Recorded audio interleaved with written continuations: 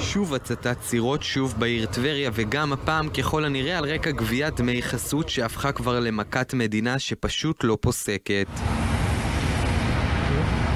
עונת הקיץ נחשבת לתקופה העמוסה ביותר עבור בעלי הסירות בטבריה, אבל דווקא כעת, כשהם מנסים להתפרנס, מצליחים גורמים עבריינים לפגוע בענף ואף אחד לא מצליח לעצור אותם. קיבלתי בבוקר טלפון שהייתה שריפה בגינוסר, ואחת הסירות אה, שייכת לי, שנשרפה כליל, שאני אגיע לראות. אה, הגענו לשם, העיניים חשכו, אה, פיח, אה, לא נשאר זכר משלושה סירות שנשרפו שם.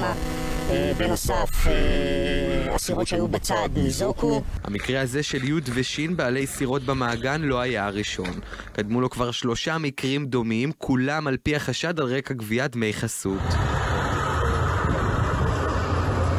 אמש בשעת לילה מאוחרת הגיעו עבריינים וללא פחד הציתו את כלי השיט.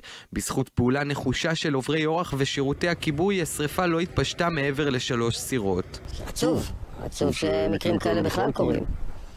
אם זה בעסקים, אם זה במכוניות, ובטח כשזה גם מגיע בסוף גם לפאן. כאמור, אין זו הפעם הראשונה שבעלי הסירות בחופי הכנרת סובלים מטרור ההצתות הזה.